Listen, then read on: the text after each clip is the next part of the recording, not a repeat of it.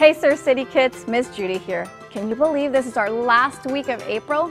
Yes, this is week four, and here's what we'll be learning today. Preschool. Today's true story from the Bible is Go and Tell. But before your story starts, have a fun dance party and sing along to Jesus is alive, he's alive, oh yeah! Everybody celebrate, yay! And elementary. Today, we are wrapping up our April theme, Upside Down. Jesus changes everything. He sure does. Hey, I have an idea. Go grab your Bible and find Luke chapter 24, verses 13 through 35.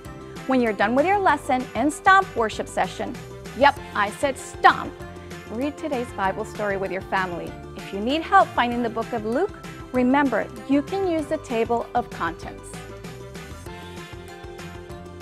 Okay, Surf City kids, have an awesome Sunday. And don't be shy, if you have permission from your parents, make a video with your family doing worship together and have your adult tag Ocean View Church on Instagram or Facebook. See you next week.